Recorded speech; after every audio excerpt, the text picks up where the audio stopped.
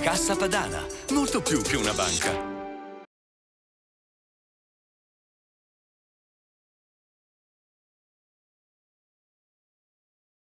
Che differenza c'è tra bisogno e desiderio? I bisogni sono collegati alle necessità, quindi la necessità di alimentarsi, di vestirsi, di coprirsi, di, aver, di avere una casa, quindi con un'importanza prioritaria. Invece i desideri sono collegati alle aspirazioni che ognuno di voi può avere. E non per questo dobbiamo esaudire solamente i bisogni, ma anche i desideri sono molto importanti. Ciò che però conta di più è dare la giusta priorità, quindi prima vengono i bisogni e poi i desideri.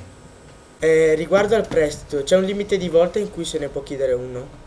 Non c'è un numero prestabilito di richieste che si possono fare. Ciò che è importante e che l'istituto di credito eh, cerca di far capire è che eh, un cliente non deve indebitarsi oltre le sue possibilità. Quindi le richieste possono essere molte, ma vengono concesse solamente se c'è la possibilità per il cliente di rimborsarle.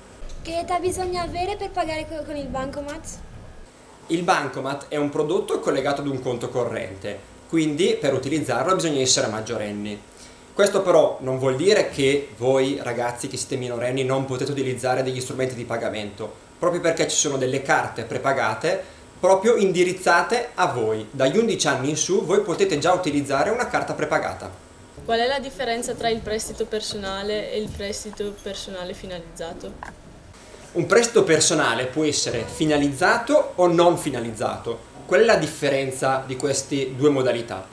Nel prestito personale finalizzato il richiedente che richiede un prestito ha già un obiettivo di acquisto che può essere una macchina piuttosto che un altro bene e in questo caso la banca non concede i soldi al richiedente ma manda il denaro direttamente a chi vende il prodotto. Invece nel prestito personale non finalizzato la banca concede un finanziamento senza vincolo di destinazione, quindi vengono concessi questi soldi al richiedente e il richiedente potrà utilizzarli come meglio crede. Io un cane vivace che ogni tanto fa i disastri, posso assicurarlo?